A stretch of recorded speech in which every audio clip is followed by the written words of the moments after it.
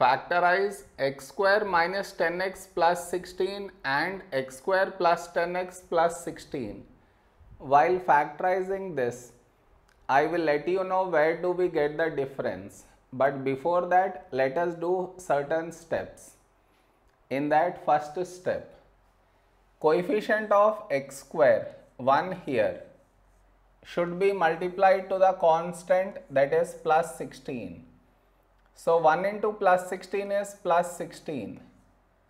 Now over here coefficient of x square 1 multiplied to the constant plus 16 you get plus 16. This is your step 1. Next. Now you should look out for two numbers such that when you add these two numbers you should get the middle coefficient that is minus 10 and also when multiplied you should get plus 16. I repeat. Now you should look out for two numbers such that when you add them you should get middle coefficient that is minus 10 and also when multiplied you should get plus 16. Now here also same. Look out for two numbers such that when you add them you should get middle coefficient that is plus 10 and also when multiplied you should get plus 16 okay now to get those two numbers for that we should take LCM of 16 so I take the LCM here. 16 is 2 8 16 now 8 is 2 4 8 4 is 2 2 4 now we have 2 2 is a prime number so 2 1s 2 now the two numbers should be first number is 2 and the second number is 2 into 2 4 into 2 8 2 plus 8 is 10 2 into 8 is 16 so here you write 8 and 2 here here also same 8 2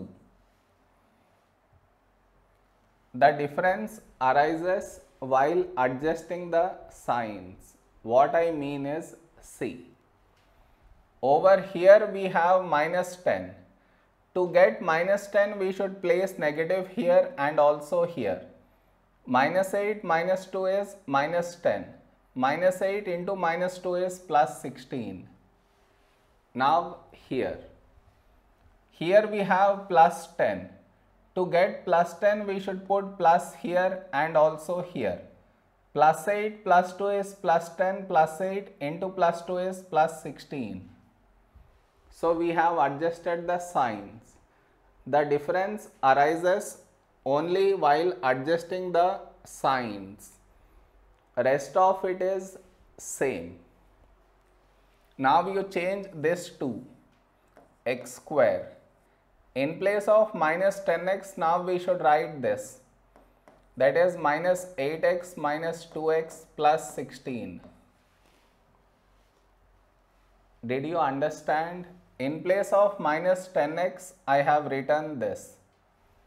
Next, from these two terms, what can you take out common? x.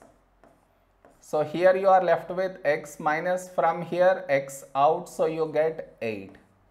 Now whatever you got here, here also the same thing you should get. From this x has gone inside, so outside you get minus 2 even if you multiply and check still you get the same thing. Now you take out x minus 8 common.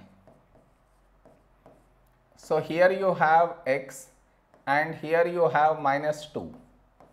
So this is the answer for this one. Now here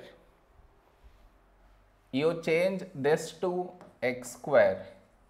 In place of plus 10x now we should write this that is plus 8x plus 2x plus 16.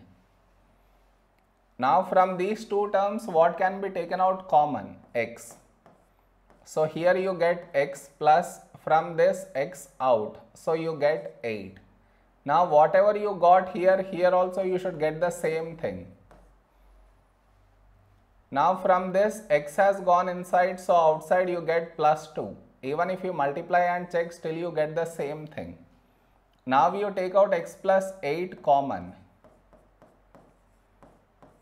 So here you have x and here you have plus 2. So this is the answer for this one. Did you understand the difference between the two? Am I clear?